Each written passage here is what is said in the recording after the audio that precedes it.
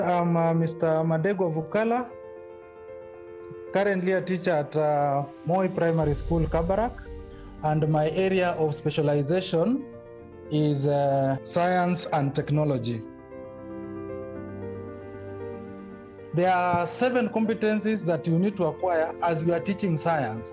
We shall look at them as we progress uh, ahead. Now, Essence is a general overview of a learning area and summarizes fundamental ideas in science and technology. Is the individual needs of the learner. We have those ones that can uh, uh, learn very fast. We have those that learn slowly. So you need to take care of in, uh, individual uh, learners' uh, needs.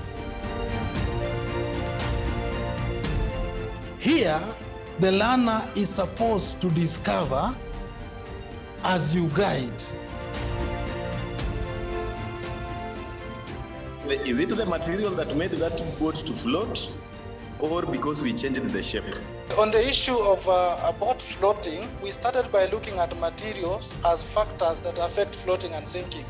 So if a child has gone through that wood is a material that uh, floats, then he'll be able to know that a wooden boat is floating because of the material.